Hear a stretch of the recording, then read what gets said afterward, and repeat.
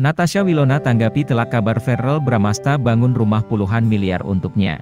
Natasha Wilona bereaksi tertawa sekaligus memberikan jawaban telak terkait kabar jika rumah baru Ferrell Bramasta yang bernilai hingga 20 miliar rupiah mulanya dibangun untuk dirinya.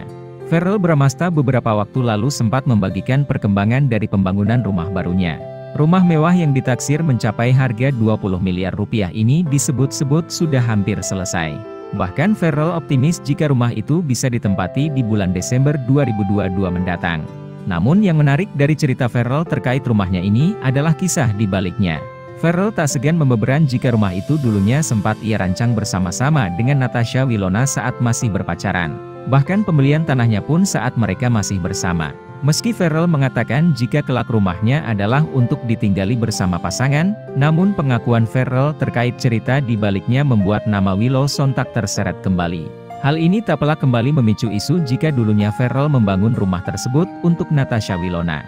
Kali ini giliran Willow yang bereaksi. Saat ditanya kabar jika rumah puluhan miliar Ferrell dibangun untuknya, Willow dengan tegas menyanggah. Enggaklah, ujar Natasha Wilona seraya tertawa kecil, seperti dalam tayangan seleb on Cam News belum lama ini.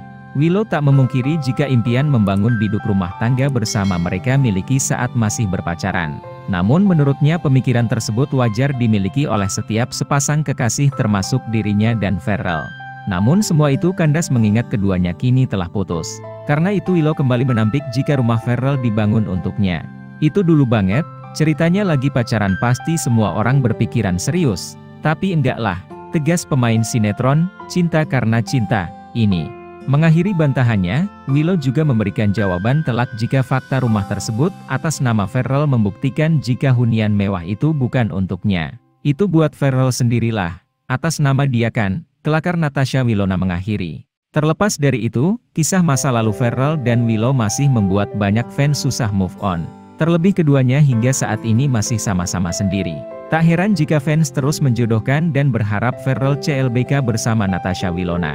Apalagi Ferrell juga sempat membuat pengakuan heboh saat muncul di kanal YouTube Bo William. Kala itu ia mengaku yakin akan menikahi Natasha Wilona andai tak ada penghalang perbedaan agama di antara mereka.